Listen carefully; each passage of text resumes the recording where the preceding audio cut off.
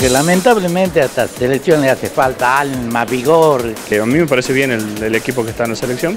que no sean tan, tan sangre de gallina, porque así están demostrando ser. Tiene cinco jugadores que son los mejores jugadores del mundo. Y cambiaría también el director técnico. ¿Sabe a quién lo pondría? ¿Cómo puede ser que pierdan 3 a 0 con Brasil? A Ramón Díaz. Ese la tiene bien puesta para que sea director técnico. Gente que gana millones y millones de pesos y nos sale millones de pesos a nosotros, a, a los argentinos, y que hagan pasar ese papelón. Hay jugadores que creo que han cumplido su ciclo. Yo pienso que deberían sacarlo toda la selección Todo. y cambiarlos por gente nueva que tenga más ganas de jugar. Se tiene que ir todo.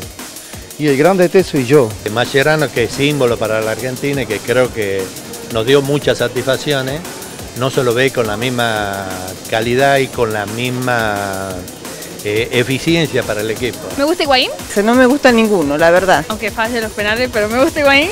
Tiene que llevar todos los jugadores de acá. Un horror, lamentablemente fuimos un papelón lo de anoche. Jugadores de Amalia, jugadores de Jujuy, jugadores de Salta. Se tiene que ir el director técnico primero y los jugadores también pues, están viejos. Ya basta, basta de estrellas, porque quedamos estrellados. Para mí hay que renovar el plantel y cambiar el técnico. Me gusta el Cholo Simeone, pero no va a aceptar con estos muertos, obviamente.